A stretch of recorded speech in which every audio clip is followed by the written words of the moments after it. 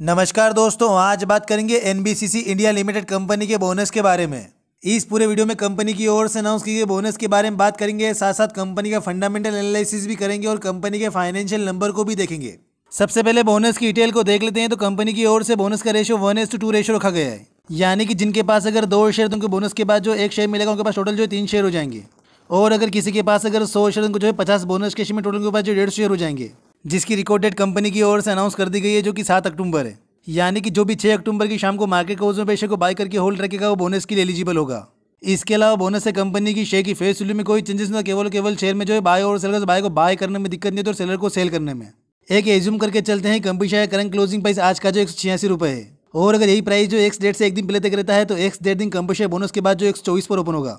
वहीं अगर मार्केट ज़्यादा उतार चढ़ा होता है शेयर का प्राइस कुछ भी हो सकता है। जैसे अगर एक्स डेट से एक दिन पहले शेयर का प्राइस अगर दो सौ पर क्लोज होगा तो एक्स डेट दिन कंपनी शेयर बोनस के बाद जो एक सौ तैतीस रुपये तैतीस पैसे पर ओपन होगा। इसके बाद कंपनी का हिस्टोरिकल पी देख लेते हैं तो कंपनी का मीडियम पे भी हाल फिल में जो छत्तीस के आसपास है। वही कंपनी का करंट पी रेशियो भी हाल फिल में जो इठहत्तर के आसपास है। यानी कि कंपनी ने मीडियम पी से काफ़ी महँगी वैल्यूएशन पे भी हाल फिल में ट्रेड करी और कंपनी पी रेशियो वाइज काफ़ी ज़्यादा महँगी भी है। वही कंपनी के फाइनेंशियल नंबर की बात करें तो लास्ट पाँच क्वार्टर में कंपनी के रेवेन्यू में जो है काफ़ी उतार चढ़ाव देखने को मिला है।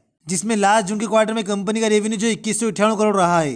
वही कंपनी के नेट प्रॉफिट की बात करें तो लास्ट पाँच क्वार्टर में कंपनी नेट प्रॉफिट में काफ़ी उतार चढ़ाव देखने को मिला है, जिसमें लास्ट जून के क्वार्टर में कंपनी नेट प्रॉफिट जो 107 करोड़ रहा है। ओवरऑल कंपनी फाइनेंशियल वाइज जो ठीक ठाक दिख रही है।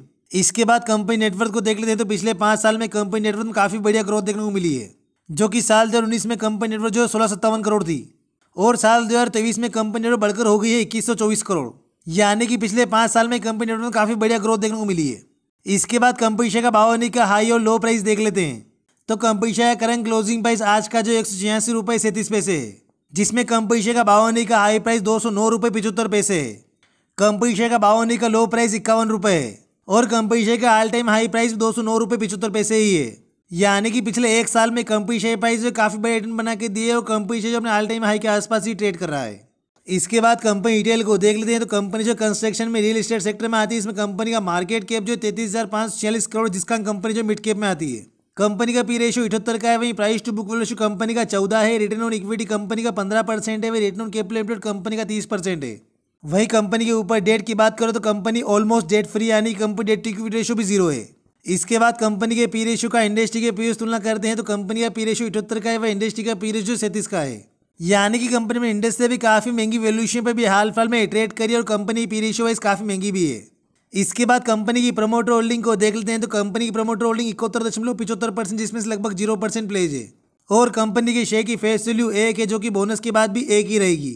साथ ही कंपनी के एमडी और सीओ जो केलाम्बली महादेवा स्वामी है।